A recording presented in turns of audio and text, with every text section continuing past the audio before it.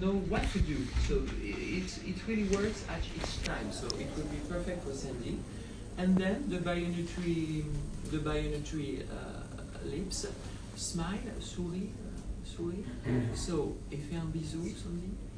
So what we see, so she never do injection. So what we see, we, we see fine lines and little wrinkles on the upper white lip, and we just want to equilibrate and balance the lower and the upper part, and we will do either with the fine lines or with the lip soft. So I propose to inject the lip soft on Sandy in the biontry lips with one virus of NCTF 135HA in a kind of biorevitalization. Okay, so we can go. So we will begin by the elevation of the of the cheekbones.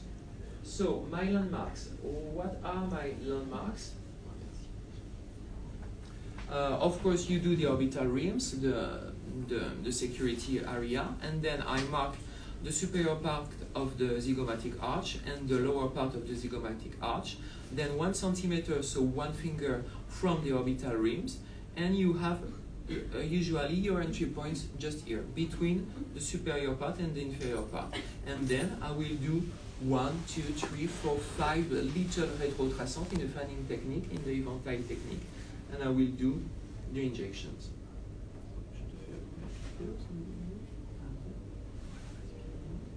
So we can pinch, pinch the, the skin. You can do your pre-O, your O. And I will use, of course, as you said, uh, Alessio, the cannula by Fillmed.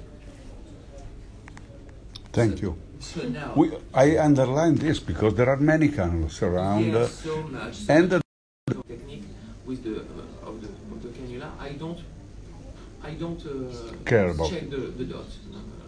So what you do, as Sandrine say, you can drop, you can you can pull up the skin and be really